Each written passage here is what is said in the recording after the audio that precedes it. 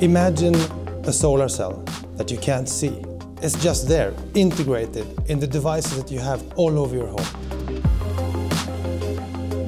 The unique thing with Exeger solar cell is that it will generate electricity under any light condition, even indoor. It will integrate into any surface or any device, so you won't even notice it's there.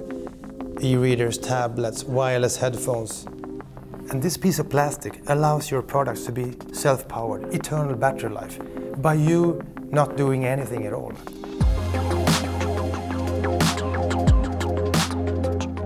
After 10 years of hard work and preparations, we are now ready for commercial launch.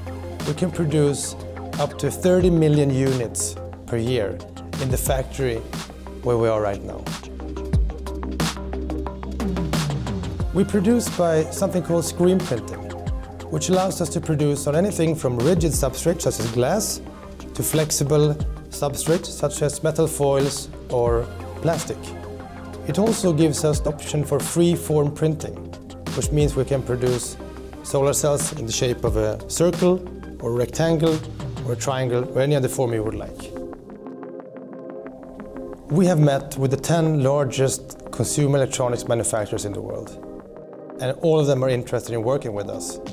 It's a proof that our technology is something unique, which gives them a leverage and allows us to have a fast penetration in the market.